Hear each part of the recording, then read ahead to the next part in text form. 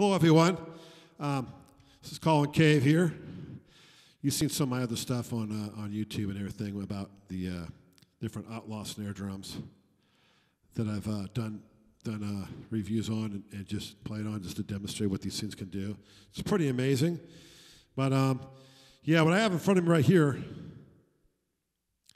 is a outlaw Douglas fir, seven by fourteen and it has the uh, Dunnett throw off on it, the R4.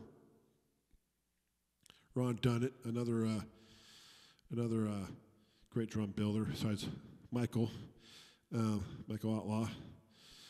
And uh, yeah, he makes Michael makes some of the best drums, and uh, the stuff is just incredible.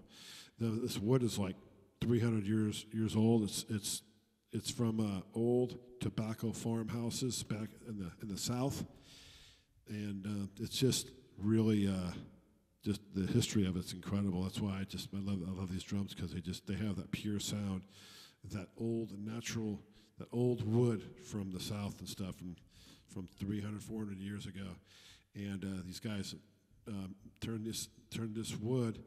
Uh, from these, these homes into drums, uh, drum sets, snare drums, and even even beaters too, drum beaters. So uh, yeah, uh, I'm going to play it now and show you the different uh, things this thing can do, and hope you enjoy it. And please don't forget to subscribe to my channel.